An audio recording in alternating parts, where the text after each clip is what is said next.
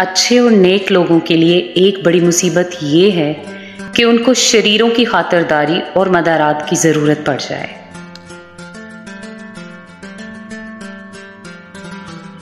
घड़ी घड़ी और पल पल गुजरने से उम्रें ख़त्म हो जाती हैं और बात सातें ऐसी होती हैं कि उनमें आफात और बलाएँ पैदा हो जाती हैं।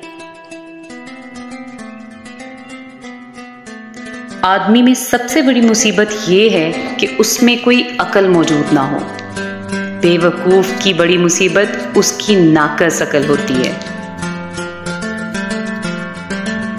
खबरदार, ऐसी महफिलों में जाकर मत बैठो, जिसमें तुम्हारी इज़्ज़त नफ्स पर दाग लगे, वरना जलील होना तुम्हारा मुकद्दर होगा।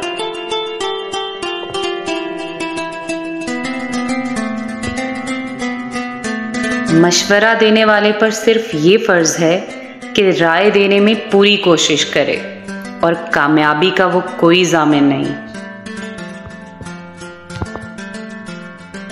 बहुत से मुर्दा चीज़ें ऐसी हैं जिनका पाना दुशवार और नामुमकिन है। ये कायदा मुकर्र है कि शाखें अपने असल की तरफ़ रजू करती हैं। If you like my video please subscribe my channel voice power.